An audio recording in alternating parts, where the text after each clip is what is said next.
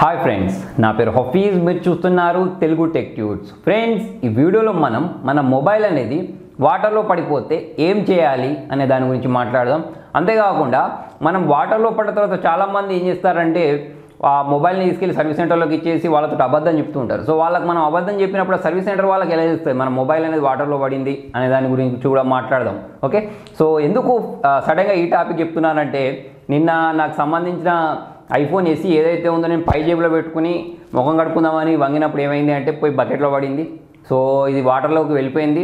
వెళ్ళిన తర్వాత నేను చేసిన పనులేంటి అనే దాని గురించి ఈ వీడియో చెప్తాను. సో నాకు జరిగిన లైవ్ ఎగ్జాంపుల్ నేను చూపిస్తాను. ఇంకా కొంచెం చిన్న చిన్న ఇంకా కూడా దీనిలో వాటర్ ఉంది. సో ఇప్పుడు నేను చేసిన పనులేంటి చేయకూడని పనులేంటి అనే దాని గురించి కూడా నేను చెప్తాను.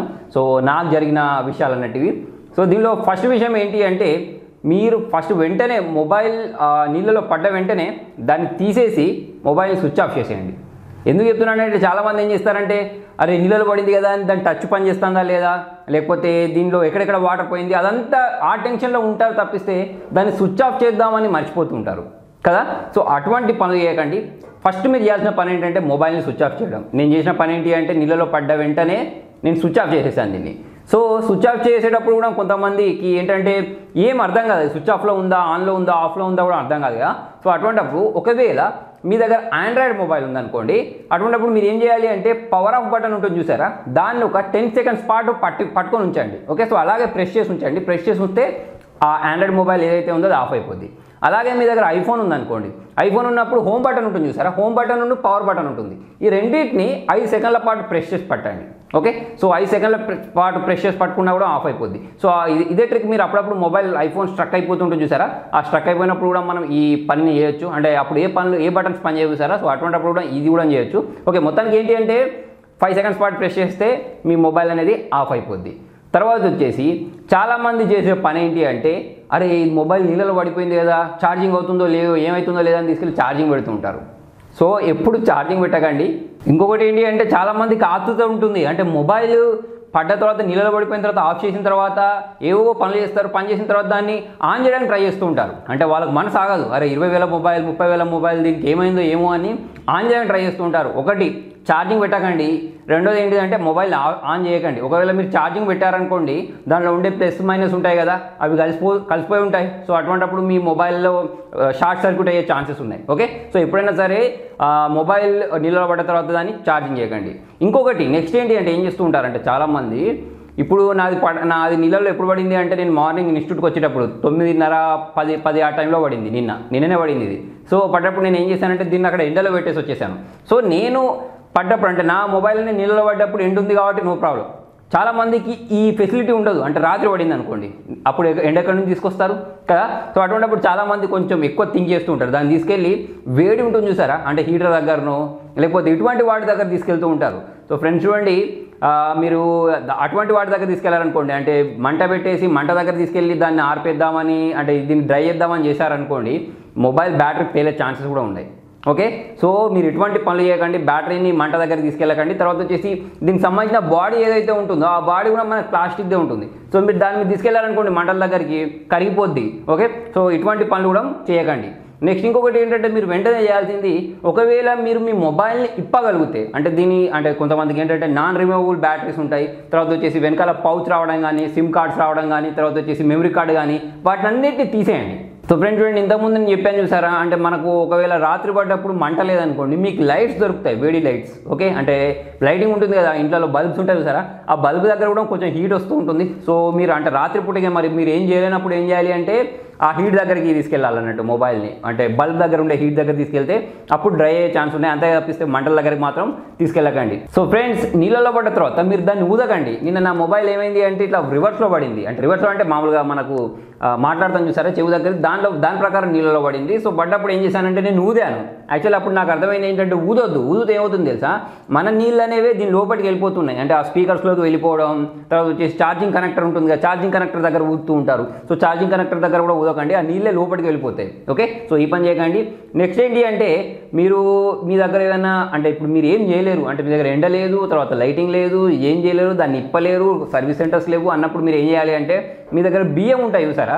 ఓకే? సో దీన్ని ఎంత ఇప్పగలిగితే అంత ఇప్పగల ఇప్ప ఇప్పేయండి. విప్పేసిన తర్వాత మీ దగ్గర బియ్యం ఉంటే ఆ బియ్యంలో దీన్ని ఉంచేయండి. ఓకే? సో ఆ బియ్యం ఏం చేస్తాయంటే దీన్ని లాగేసుకుంటాయి. దీనిలో ఉన్న తడిని లాగేస్తూ ఉంటాయి అన్నట్టు. ఎప్పుడు ఇది?